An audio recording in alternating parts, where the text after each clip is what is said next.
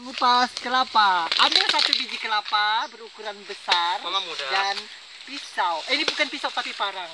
Kita arahkan, guys. Satu, dua, tiga. Ah. Aduh, capek sekali, guys. Baru segini. Maklumlah orang kampung. Itunya kan kampung nggak bicing musak eh. Biasanya orang kampung nih saya. Tapi saya ini orang apa sih? Orang jadi-jadian gitu loh, guys. Oh, seram. Bangke kah? Aduh. Capek guys baru segini. Enggak ini ya. Tutorial saya gagal deh guys. Saya minta tolong yang lain deh. Kita bawa sana. Kita dulu ya. Ah.